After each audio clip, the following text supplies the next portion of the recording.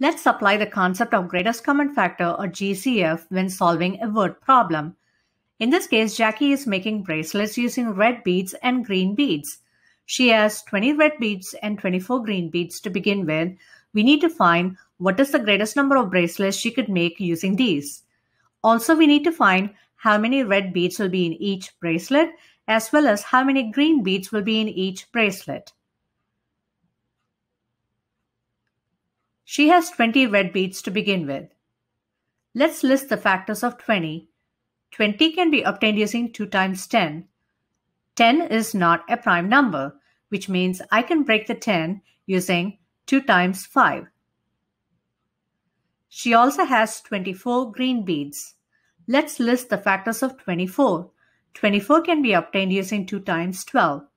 And 12 can be broken down further using 2 times 6. Since 6 is not a prime number, let's break the 6 further using 2 times 3. Moving forward with finding the greatest common factor, we can see that the number 2, shaded in pink, is common for both 20 and 24. The 2 shaded in green is also common for the number 20 and 24. There are no other numbers that are common for both the numbers. Hence, the greatest common factor of 20 and 24 is 2 times 2, which is 4. Going back to the question, what is the greatest number of bracelets you could make? Since we found the greatest common factor, we now see Jackie can make 4 bracelets. Moving to the second part of the question, how many red beads will be in each bracelet, as well as we need to find how many green beads will be in each bracelet.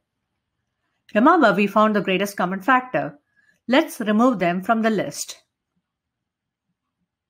As you can see, there are 5 red beads in each bracelet and there will be 2 times 3 which is 6 green beads in each bracelet.